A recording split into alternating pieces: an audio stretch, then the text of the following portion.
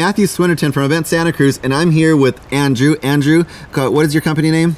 Amotion. Okay, so what do you do?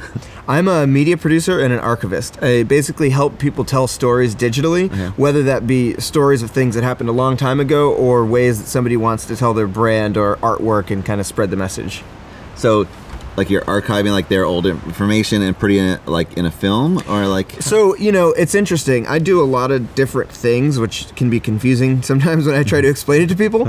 Uh, but on the one hand, you know, digital archives, managing digital archives. that could yeah. be anything from organizing hard drives to making things accessible. Um, I also do media production and I do a lot of online media, social media distribution. So, kind of how I see those three areas of archives, media production, and social distribution. Um, you know, let's say there's a company and they've been recording a lot of lectures. So, I go and help organize and make use of those lectures in a way that even if we can't publish the lecture from start to finish, you can, through some creative media production, turn it into maybe a short evergreen video that says, hey, here's a big idea, here's why it's important, and then a message important, you know, relative to our brand. Yeah. So I've been finding these ways to kind of combine these worlds, um, and I, of course, I do work that's just exclusively one or the other. Like I'm helping a friend uh, do a book who's an artist, and I'm just helping go through his archives to find his images. You know, Okay. so it, I I don't just do everything combined. I do bits and pieces of things on their own as well.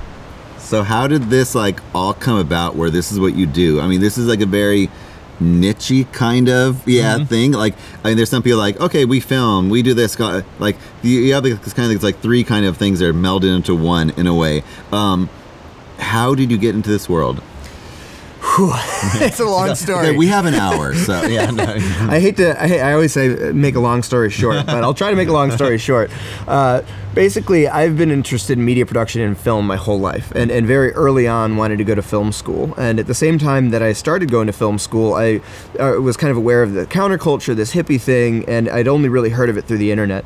So I'm in film school, learning about movies, uh, and I started going to basically hippie electronic shows, and I Right. met a lot of people that were like the modern day, you know, iteration of the Grateful Dead family, and it just blew my mind. And I and I had a hard time reconciling all these kind of creatives and musicians and people that live this nomadic, expressive lifestyle with this, you know, more uh, very strict uh, entertainment industry oriented uh, lifestyle that I was working towards.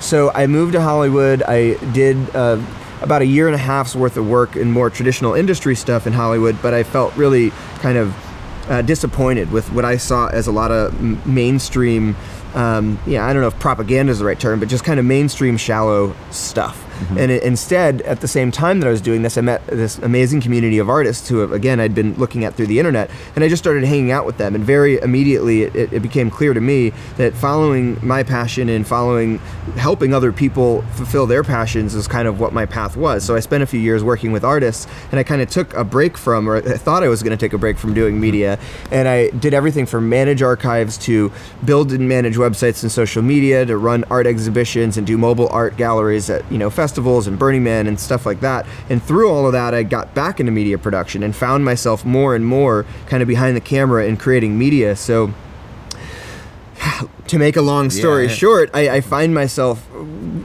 interested in all these different subcultures and pockets. And, and to me, the thing that I'm most interested in is kind of preserving history, uh, preserving culture, preserving things that, that matter, um, uh, maybe things that aren't necessarily mainstream accessible.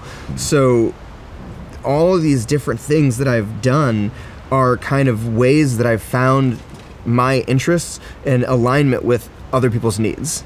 And yeah, Yeah. it's kind of turned into, you know, I, I do this one project with that person, that project with that person, and this kind of worldview starts building of how these seemingly separate, unrelated things are all kind of connected together. so- yeah, that's super cool.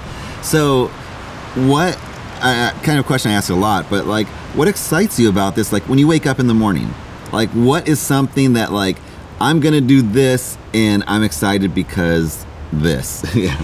I mean, you know, I guess it's a weird thing to say, but what what really excites me is is the the possibility that in some way, shape, or form, uh, we as like a human species can alleviate suffering. At least you know suffering from economic or socio yeah socioeconomic stuff.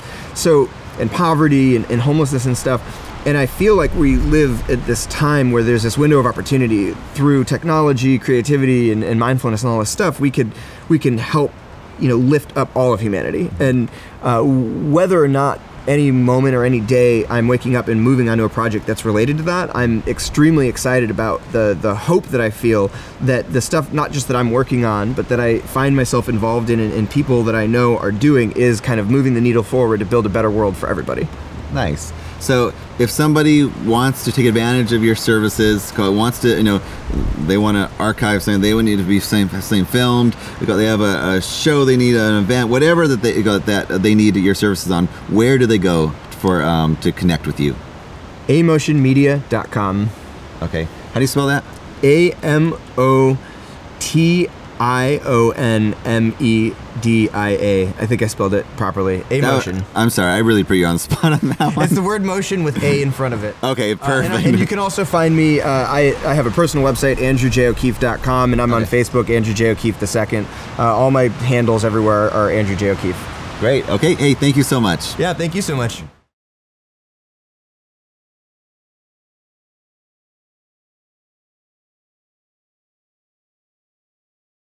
Hey, I hope you enjoyed this video. And if you did, and you want to see more, why don't you subscribe to our channel? We would really appreciate it. And also, make sure you turn on your notifications because then if you do, you'll be the first one to actually see our video. And lastly, again, if you like the video, why don't you like the video? Okay, thank you very much.